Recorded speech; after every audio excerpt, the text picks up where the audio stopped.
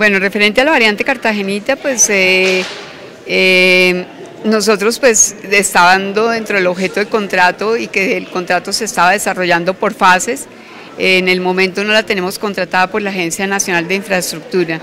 No obstante, nosotros hemos estado haciendo el análisis de la variante, mirando qué faltaría, qué tendríamos, con el fin de que si en algún momento no la Agencia Nacional de la Infraestructura no la encomienda, pues podamos empezarla eh, eh, con mucha celeridad.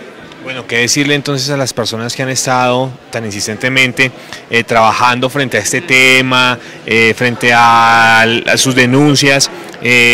¿Cómo les contestamos nosotros desde la concesión?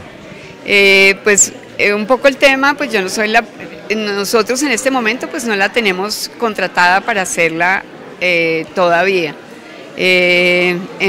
no, yo no soy la que podría decirles ni cómo ni cuándo, sino la Agencia Nacional de Infraestructura en este momento, pues es la que tiene el tema y será la que defina si la hacemos y, y analizando toda la parte financiera y económica del contrato, así como técnicamente. Bueno, se hablan de una gran cantidad de hallazgos y una cantidad de folios que se devolvieron a la concesión.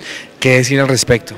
No, eh, yo creo que hoy en el, estaban comentando el señor Rico eh, una cantidad de hallazgos. Realmente la Contraloría General de la República en el año 2012 fue a la Agencia Nacional de Infraestructura y, encontró como 695 hallazgos, de los cuales de, de todas las concesiones, o sea, y posteriormente pues a la concesión le eh, determinaron algunos hallazgos, pero estamos en el debido proceso de defensa, de decir de qué pasó y pues yo no me he robado nada.